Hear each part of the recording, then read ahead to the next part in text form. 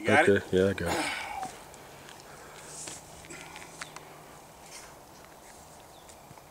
Yeah, there was three on here earlier.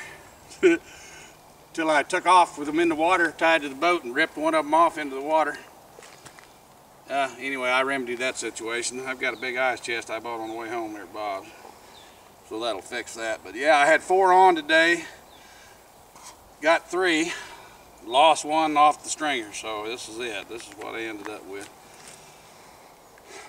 Anyway, all right, Don Brown, this is for you, buddy. This is how I get my exercise. Doing this every day.